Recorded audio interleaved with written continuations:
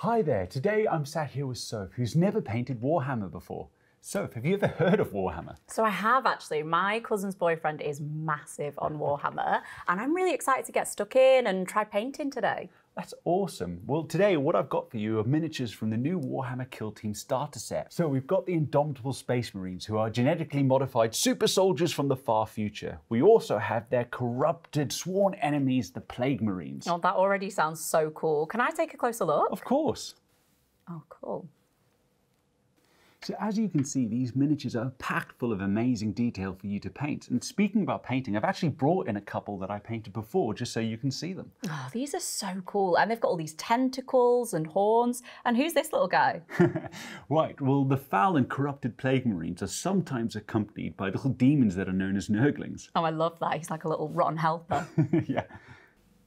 So, from the miniatures that we have in front of us, which ones would you like to paint first? I mean, they're all so full of character, but I've got my eye on this guy. Okay. I love his cloak, and I'm thinking I might do it in like a bright pink. oh, that's awesome. Okay. Well, before we get into it, there's a few things that we need to go over first. So, we're going to need some paints which we have here. And then we're going to need some paint brushes and some water for us to wash our brushes with.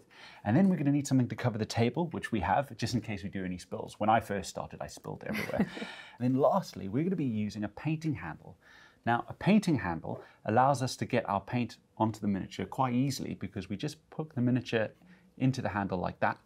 And then that means that when we get to painting, we don't have to worry about getting any paint on our fingers because otherwise you'd be holding the miniature while you're doing it. Yeah, perfect. So now the model's in the painting handle, what do we do next? So the first thing that we need to do is paint the entire model black, and this is called an undercoat. Oh, so what does that do? So this provides a layer for the rest of our paints to stick on further on in the process. Just makes it a whole bunch of easier.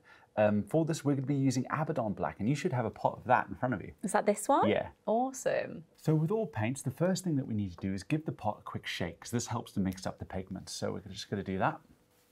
And once done that, just pop it open, and then we're going to get our paintbrush and then if you want to, apply a little water to it, just like that.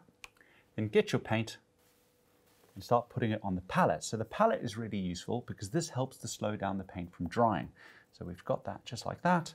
And once that's done, we're just going to start applying this all over the model. So which brush should I use? So when doing an undercoat, the best thing to use is a larger paintbrush. So maybe something like this, because this helps to get the model done quite quickly, as well as reach all those hard to do areas. Perfect.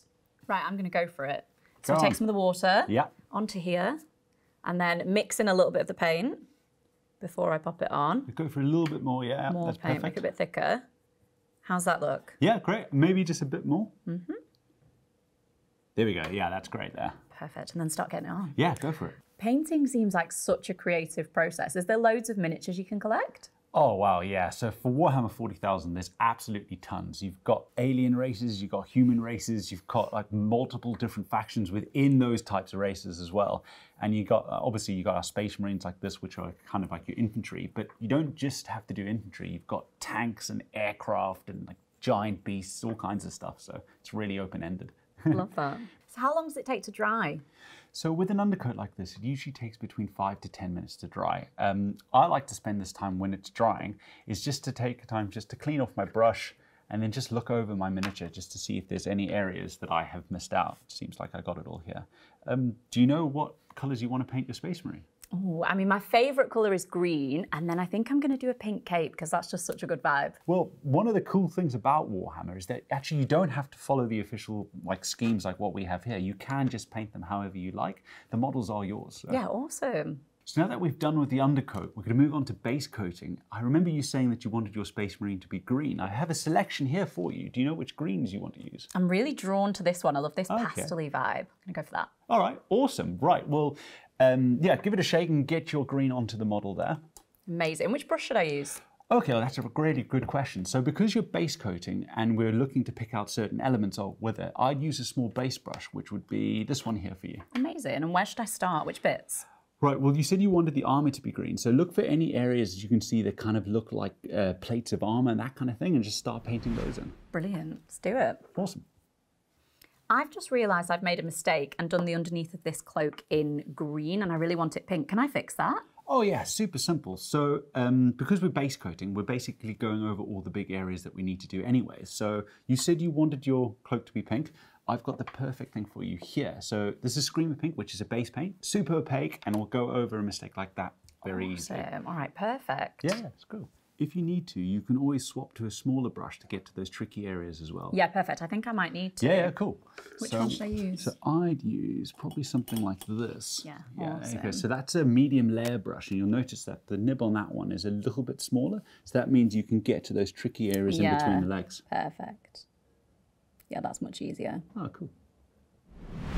I've painted the cloak in Screamer Pink, which I was really excited about, and I've gone for Catachan Flesh on the base and the pouches. I was actually a bit worried that this was going to be really tricky with the detail, but I'm really happy with how it's coming together. Great. Well, with that step done, all your base coats are finished. How did you find the process? I really enjoyed it. It was nice to just switch off, relax, and focus on this. And I actually found it much quicker and easier than I thought I would. Oh, that's really cool. Well, our next step is going to be the shading step. And for this, we're going to use a paint that's called Agrax Earthshade, which is this one here. Amazing. Now, this looks a lot thinner than the others. Does this just go straight on? Yeah, it does actually. So this paint has been specifically designed to go all over the miniature and actually sit in the recesses. And what that does, it makes all your raised details pop out and look quite cool. Oh, perfect. So it feels like I've got too much on here. Oh, don't worry about that. So that's easily rectified. All you need to do is just wash off your brush, dry it off, mm-hmm. and then when you see all that excess pooling, just use the dry bristles just to soak it up. There you go. And what what you can do then, once you've soaked up like that, is just start applying that paint to the rest of the model. Perfect. I've popped Agrax Earthshade all over this and I'm really happy with how it's looking. I feel like it's really brought out the detail in the base. All right, so that's the shading stage done. So the next thing we're going to do is an optional step. Um, it's going to be a highlight. So this is going to be a dry brush highlight. Now, I remember you saying earlier that you wanted your cloak to be pink. So what I've done is I've picked out three pink paints for you, for you to choose. And then what we can do is dry brush over them. Perfect. So what's dry brushing? Right, well, dry brushing is a really cool and simple way of adding a highlight to your model. So essentially, what we've got to do, and I'll demonstrate here for you, is just give that a shake, is what we need to do is get the paint onto our brush just like this, just as normal. But instead of adding water to it or putting it onto a palette, what we're going to do there is actually put it onto this paper towel that we have. And what we're looking to do is get all the moisture out of the paint as we can. And what this does is leave the pigment in the bristles. So you can see I'm just brushing it off like that. And then when you get it to a stage when you think most of the paint is off, like what I've done there, so you can just test by just doing different areas. And Yeah, you see, uh, you can see the paint's just coming off there. And then whatever area you want to highlight, so for me, I'm going to pick this gun here.